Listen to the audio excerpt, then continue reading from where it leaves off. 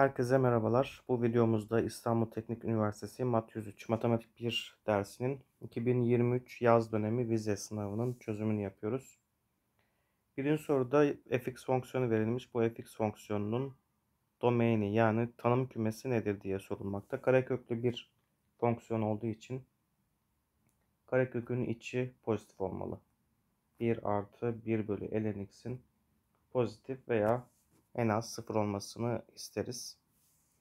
Buradan ln x artı 1 bölü ln x büyük eşittir 0 olur. İşaret tablosu yapmaya çalışalım. Öncelikle köklerini bulalım. ln x artı 1 için ln x'in eksi 1 olmasını ve buradan da x'in e üzeri eksi 1 1 bölü e olması gerektiğini söyleyebiliriz. Burası için ise buranın 0 olması için x'in 1 olması gerektiğini söyleyebiliriz. Köklerimiz 1 bölü e ve 1. Şimdi birden büyük bir sayı verdiğimiz zaman acaba sonucumuz ne olur bakalım. Mesela e verirsek e birden büyüktür. E verirsek ln e'den dolayı yukarısı 2 aşağısı 1. 2 bölü 1'den pozitif olur. Yani birden büyük değerler verdiğimiz zaman pozitif olur. Birden küçük değerlerde burada kökten geçerken eksi olarak diğer kökten geçerken artı olarak işaret değiştirdik. Bizim istediğimiz yer ise bunun pozitif olmasıydı. Burası veya burası olur. Ayrıca şurayı dikkate alırsak burası birincisi.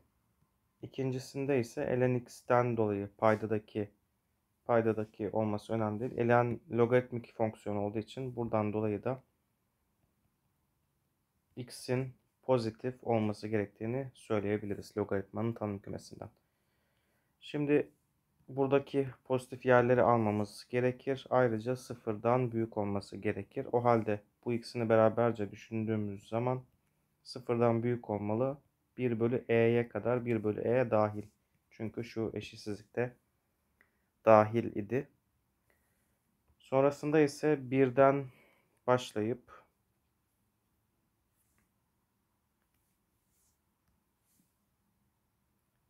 birleşim diyelim. Birden başlıyorum ve artı sonsuza kadar devam ediyor. Peki bir dahil olur mu olmaz mı ona bakalım. Burada dikkat etmemiz gereken bir diğer nokta. Bunu şöyle yazdığımız zaman paydanın sıfır olmaması gerektiği için x eşittir 1 olamaz. Çünkü x eşittir 1 olduğu zaman paydayı sıfır yapar. x eşittir 1 de payda sıfır olur. O yüzden biri dahil etmedik. Bunu sağlayan şıkkımız Edirne. Cevap E şıkkı olur. İkinci soru limit sorusu. Sağ taraftan limit. Limit x 3'e sağdan yaklaşırken sinüs karekökün içinde x eksi 3. Diğer taraftan ise bunu çarpanlara ayırmaya çalışırsak eksi 6 ve artı 3 yani karekök içinde x eksi 6 çarpı karekökün içinde x artı 3 olarak yazabiliriz. Düzeltiyorum. Şurası artı bu eksi olacak. x artı 6 ve x eksi 3 olarak yazabiliriz.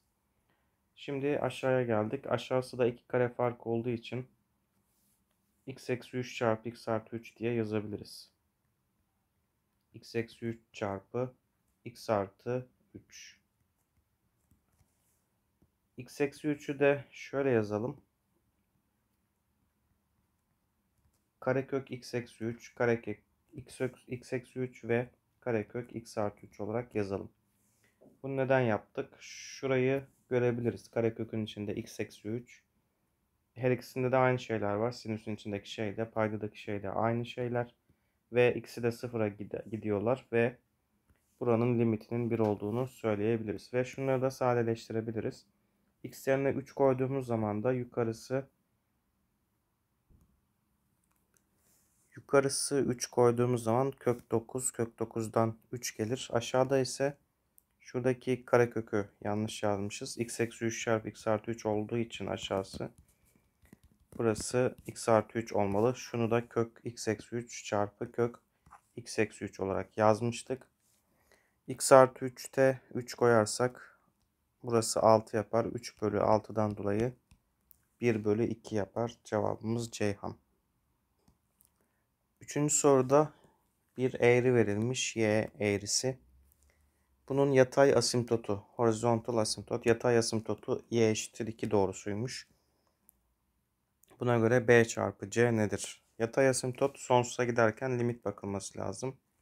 Limit x sonsuza giderken sinüs x artı 2 artı kök x artı bx bölü kosinüs x artı c çarpı x.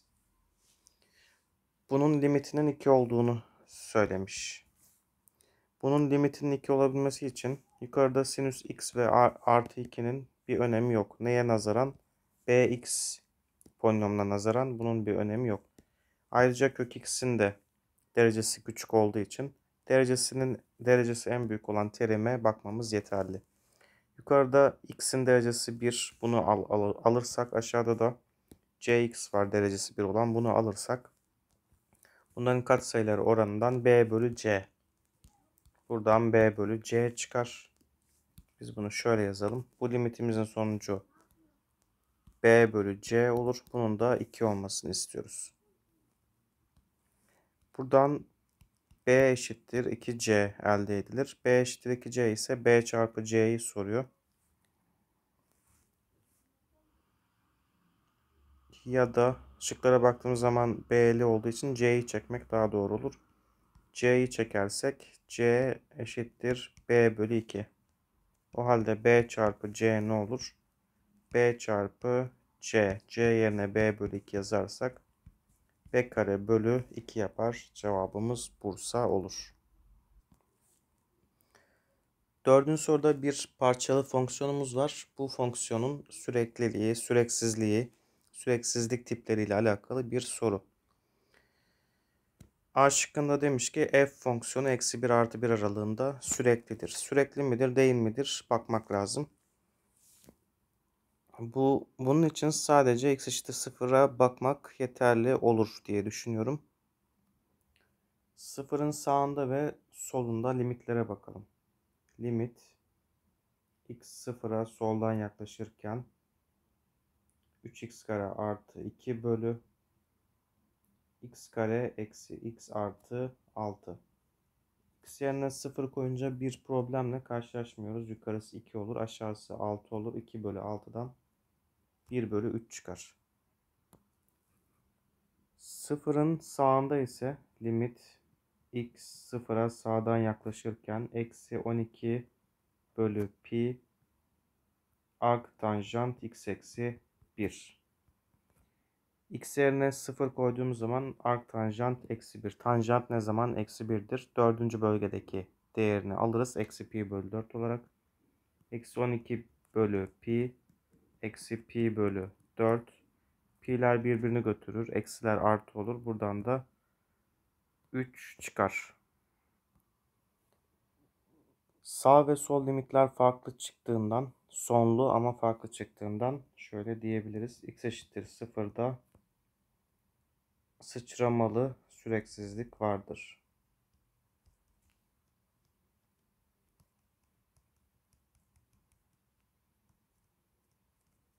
Evet. Şıklara bakarsak sıçramalı süreksizlik hangisinde var? A'da sürekli demiş. B'de removable yani kaldırılabilir demiş. Nerede? X eşittir sıfırda kaldırılabilir. Bu doğru değil.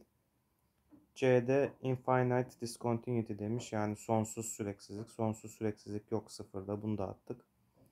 Sıfırda süreklidir demiş. Bunu da attık. E şıkkı kaldı. Jump yani sıçramalı discontinuity. Sıçramalı süreksizlik vardır. Nerede? X eşittir sıfırda. F'in de 1'de sürekli olduğunu söylemiş. F 1'de sürekli midir? 1'in sadece solunda tanımlı olduğu için buna bakalım. Limit x 1'e soldan yaklaşırken eksi 12 bölü pi çarpı arc tanjant x eksi 1. Burada tanımlı zaten fonksiyonumuz. Birde tanımlı. Birdeki değeri, birdeki limiti, birdeki değerini aldığı için burada bir problemle karşılaşmayız. Bunun limiti kaç? 1 koyarsak buraya 0 art tanjant 0 0 demektir. Bu aynı zamanda f'in f'in 1'deki değerine de eşit olduğu için f'in 1'deki değeri ile fonksiyonun limiti eşit. O zaman x eşittir 1'de f süreklidir. Süreklilik testini hatırlarsak o noktada tanımlı olmalıydı. O noktada tanımlı olduğu değer ayrıca fonksiyonun limitine eşit olduğu için süreklilik testinden dolayı x eşittir 1 de fonksiyonumuz süreklidir. Cevabımız Edirne olur. Beşinci soruda f'in türevi böyle verilmiş ve şurada şöyle bir limit var. Bu limite çok dikkatli bakarsanız bunun türevin limit tanımı olduğunu görebiliriz. Nedir türevin limit tanımı? Limit h sıfıra giderken f a art a artı h eksi f a bölü h. Bu limit bize neyi verir? f'in türevinin a'daki değerini verir. Burada a yerine 2 alırsam a yerine 2 alırsam ve h'ı da x olarak alırsam h değişkeni yerine x değişkeni kullanıyorum. a yerine de 2 yazalım. Ne oldu? f2 artı x eksi f2 bölü h. h yerine de x aldım. Gördüğümüz gibi şöyle bir limit geldi. Bu bu limit aslında f türev 2 demektir. f türev 2 bu limit yardımıyla hesaplanır. Bunun da b bölü 2 olduğunu söylemiş.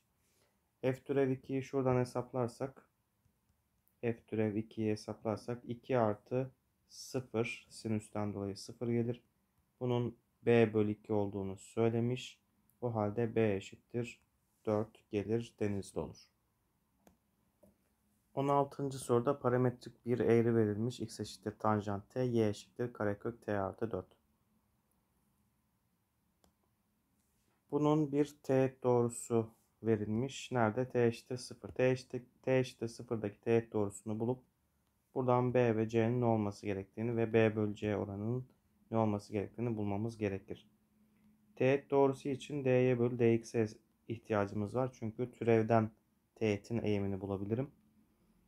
dy bölü dx hesaplanmalı ama y ve x'ler t'ye bağlı fonksiyonlar olduğu için biz zincir kuralı yardımıyla dy bölü dt bölü dx bölü dt ile bunu dolaylı olarak hesaplamış oluruz. dt'leri attığımız zaman görüyoruz ki bu aslında dy bölü dx'i verir dolaylı olarak. dy bölü dt karekök t artı 4 türevini alırsak 1 bölü 2 karekök t artı 4 yapar. Bölü tanjantın türevi sekant karedir. Sekant kare t.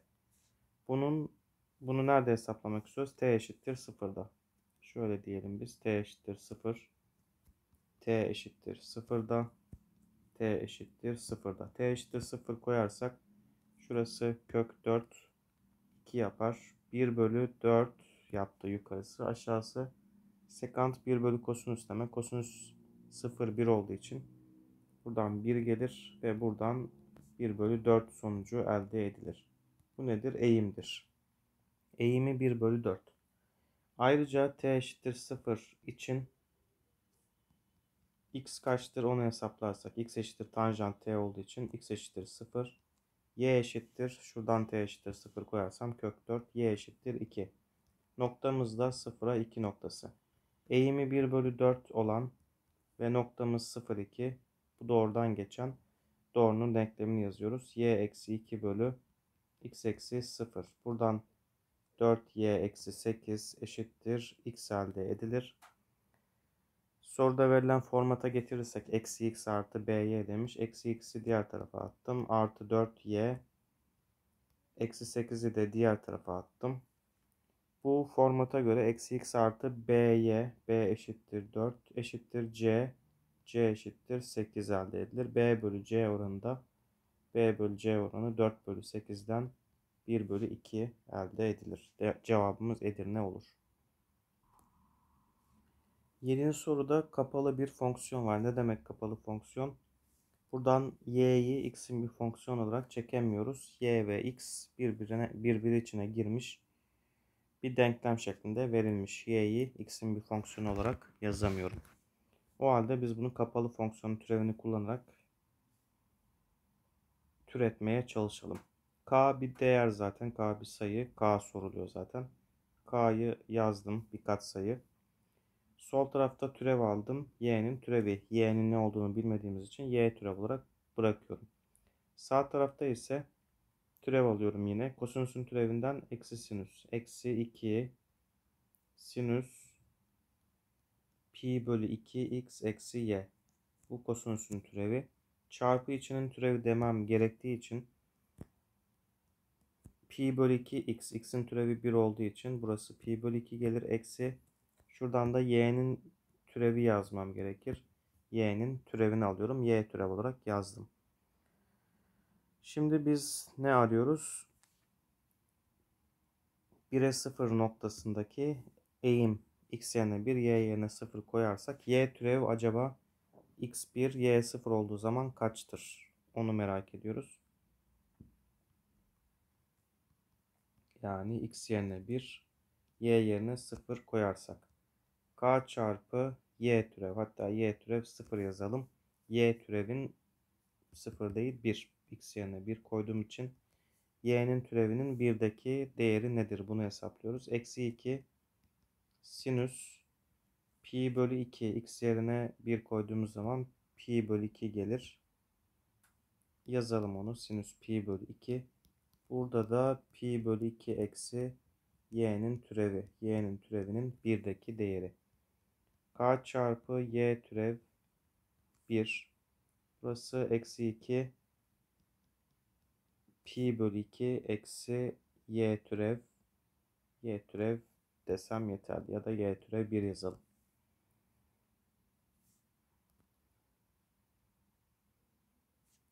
Buradan y türevi çekmeye çalışalım. Y türevin ne olduğunu bulmaya çalışıyoruz. k çarpı y türev eşittir. Eksi 2 ile pi bölü 2'yi çarparsak eksi pi. Buradan da 2 y türev elde ederiz. Buradan da bunu diğer tarafa atarsak y eksi 2 y türev eşittir. Eksi pi elde ederiz y'nin türevini de o halde eksi pi bölü k eksi 2 olarak buluruz. Yani eğimi. Eğim bu. Aynı zamanda şuradan da eğimi hesaplamaya çalışalım.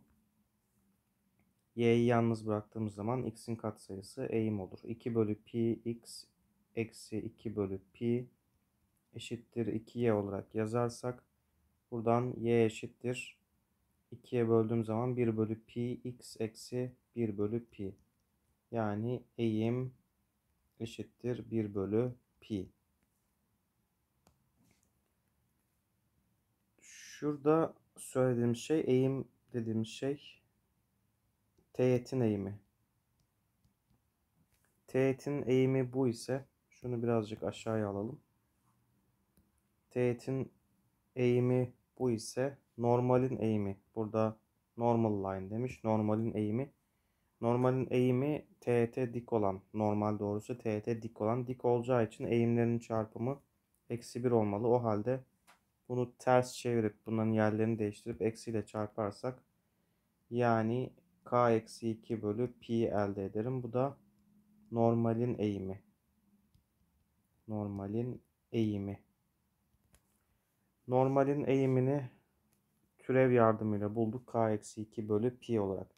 Bu da normal doğrusu olduğu için buradan da eğimi bulduk. O halde bunların birbirine eşit olmasını istiyoruz. Yani k eksi 2 bölü pi'nin 1 bölü pi'ye eşit olmasını bekliyoruz. k eksi 2 1 olmalı. Buradan da k eşittir 3 olmalı. Cevabımız denizli olur. 8. soruda x eşittir x'te t'ye bağlı bir fonksiyon olarak verilmiş. y de t'ye bağlı bir fonksiyon olarak verilmiş. Burada da bazı bilgiler verilmiş.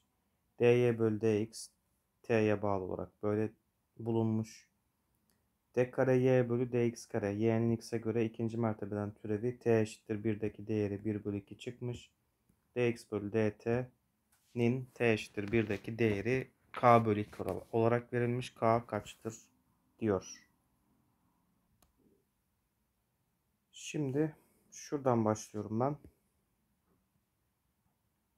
d kare y bölü dx kare şu demek. d bölü dx dy bölü dx. Yani bu birinci türev demek. Birinci türevin tekrar türevini al demek. dy bölü dx'in ne olduğunu burada vermiş. Bunu buraya alalım. D bölü dx'i yazdım. 1 bölü t artı 1'in karesinde yazdım. Şimdi ne yapmak istiyoruz? Bunun x'e göre türevini almak istiyoruz. Bunun x'e göre türevini alamayız. Çünkü buradaki fonksiyon t'ye bağlı bir fonksiyon. O halde ben şöyle yaparım.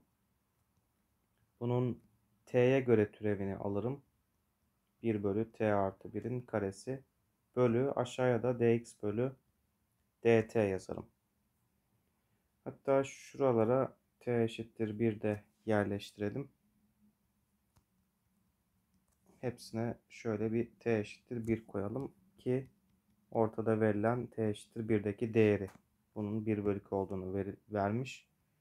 Yukarıda türev alırsak yukarıda türev alırsak bunu şöyle düşünelim. t artı 1'in eksi ikinci kuvvet olarak düşünürsem eksi 2 bölü t artı 1'in kübü olur. Yukarının türevi.